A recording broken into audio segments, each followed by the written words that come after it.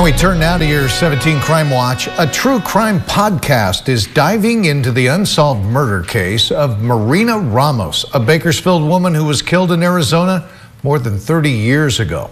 Ramos and her daughters Elizabeth and Jasmine were last seen in August of 1989 with a man only identified as Fernando. They were leaving Bakersfield in a black SUV for Ontario, California. Four months later, Ramos's body was found unclothed and with multiple stab wounds off a road in Mohave County, Arizona. Authorities were unable to identify her, but they did obtain a DNA profile. And in February of last year, that DNA confirmed Ramos's identity. The podcast called APB Cold Case will include new interviews from investigators and Ramos's sister. You can listen to it on Apple, Spotify, YouTube, and other major internet platforms.